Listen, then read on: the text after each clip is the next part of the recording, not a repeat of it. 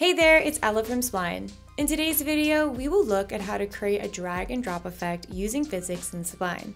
This effect allows objects to collide with each other. If you export this to Spline Mirror for the Vision Pro, you can create your own creative smash room. Or some great 3D experiences that you can embed code-free into your websites and apps. All right, let's get started. In this scene, we have a ton of icons and objects that are related to design. So to start putting objects into your scene, you can use simple shapes that are provided here in the top toolbar or you can open up the spline library here, search for an object, and bring it into your scene. We also have this scene linked in the description below, so feel free to open that up and copy and paste these objects into your own scene or just remix this scene all together. So now that we know where we can get objects, let's dive into how we can create this interaction. So how does this work exactly? Here we are using the drag and drop event. So when we click on an object and hold it down with our mouse, we can now drag it throughout our scene and it's going to be pushing the other objects in the scene. Or I can drag and let go and watch the object fly.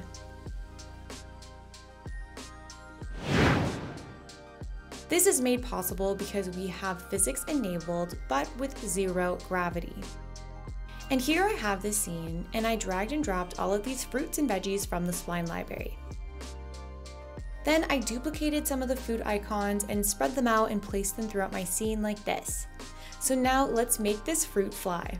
The first thing we want to do is select one object, and I would recommend selecting the object that is at the top of your layer panel so it's easy to find. Now selecting that object, make sure to select the object's group. So if it has multiple parts, make sure to group them and name it accordingly. This way we will ensure that we're moving all of the parts of this object at once. Then we are going to add an event and change that to drag and drop. Perfect. Now opening up drag and drop, there are a few settings here. You can change how your cursor appears when you hover over an object, but I recommend using the hand here because personally I think it's the best indicator that you can grab the object. You can add damping here. This affects how your object behaves when you drag it, creating a slower effect. But for this exercise, I'm going to leave this at one. You can then set the plane in the plane mode, but for this scene, I'm going to leave it as is. And as well for the relative to, you can set this to parent or another object, but I'm going to keep this as is on the world. Now for objects to drag, this is where the magic happens. Here you can set any and all objects in your scene to be dragged. You can see our top object here is already applied. So let's start adding all of the other objects in our scene. And here is a great reason why we want to name and properly group our layers. If your scene has a lot of objects within it, like this one, you can search for your objects here. This makes the process a lot faster. And so I'm gonna speed through and add all of my fruit and veggie groupings. One quick way to determine if you've missed an object is by going into the play mode and hovering over the objects. If you missed one, your cursor will not change. And so you can quickly fix this and add your object. There are some other settings, but we aren't going to explore these today. If you were interested in learning more, check out the drag and drop tutorial that we've linked down in the description.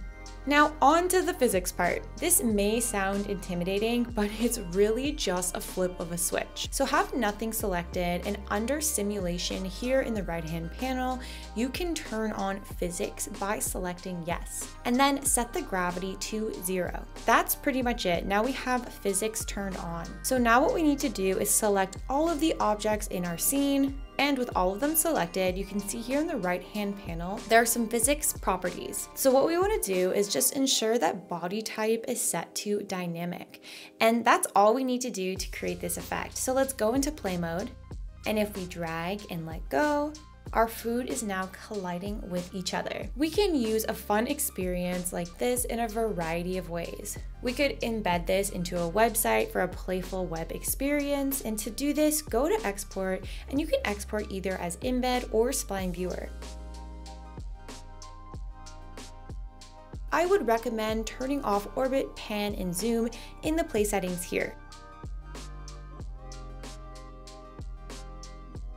Hit update and copy that embed or spline viewer and you can paste that into the embed component on a website.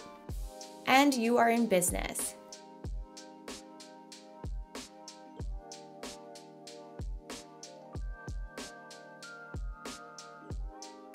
You can also export this for apps as well using our iOS exports here. Or my personal favorite, export to Spline Mirror using the Vision OS export here.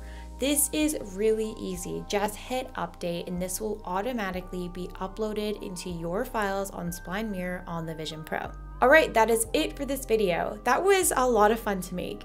There are tons of ways that you can use drag and drop in Spline, from interactive designs, web experiences, mini games, and more. And a reminder to check out the in-depth drag and drop tutorial linked down below. And check out the Spline community for inspiration. Thanks for watching. See you in the next one. Bye.